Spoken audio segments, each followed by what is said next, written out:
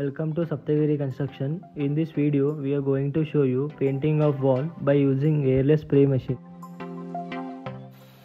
Here mixing of the paint is being done in proper proportion. After mixing of the paint, it is being sprayed into the wall. Paint we have used here is Asian Paint Ultima. Please subscribe, like and share it for more upcoming videos.